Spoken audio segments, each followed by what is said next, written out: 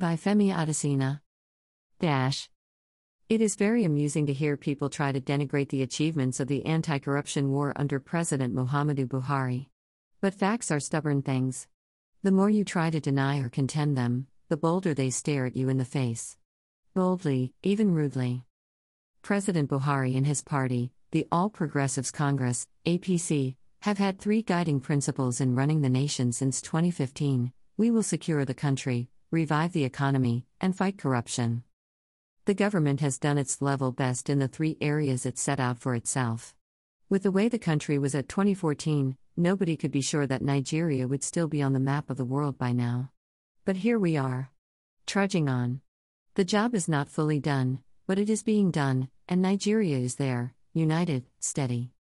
The economy is a big challenge and has always been. But you know one thing?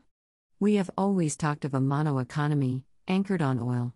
Whenever oil prices crash in the international market, Nigerian economy simply crashes with it. But then came Buhari, who redirected our priorities towards agricultural, ICT, taxation, and the like. The result? Oil is now a negligible part of our gross domestic product, GDP.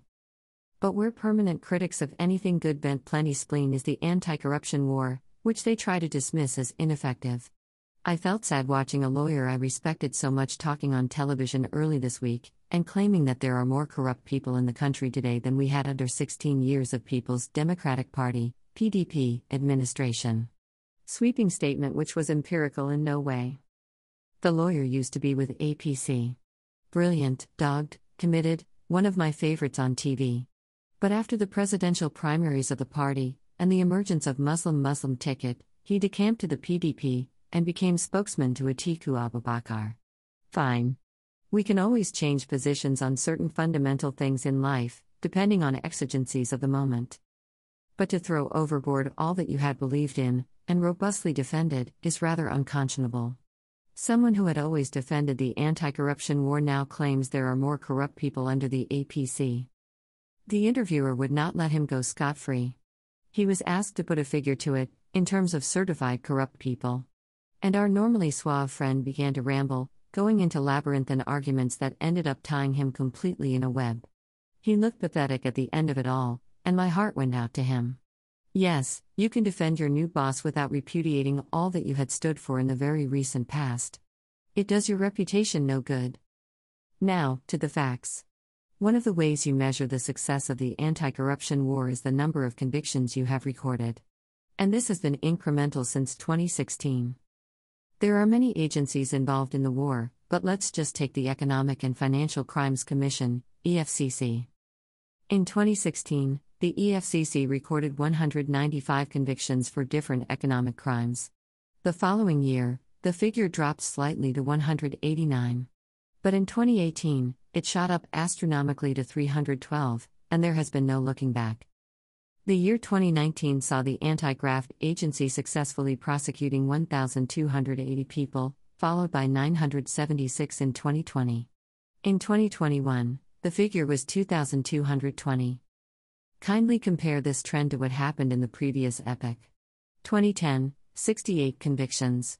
2011, 67. In 2012, 87, 2013, 117, and 2014, there were 126 convictions. This shows that EFCC got more pep, more verve under Buhari. Yet, what do you hear in the country? We don't see anything being done. Really? The only blind man is not the one who can't see, but also the one who refuses to see. When they say they don't see the successes of the anti corruption war, and you bring these kind of facts, and you challenge them to contradict or demolish them with their own facts. They then begin to ramble, like my friend on television. There's a saying if you don't say you are, nobody will say thou art. If you refuse to see what is being done despite the unimpeachable statistics, then you are of all men most miserable, and to be pitied. Some people go to great lengths trying to prove that Buhari has done nothing.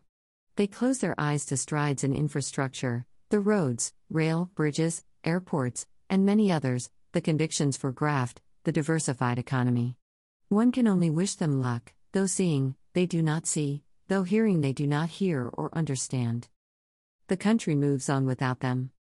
Views exclusive rights, Femi Adesina, Special Advisor to President Muhammadu Buhari on Media and Publicity, November 4, 2022.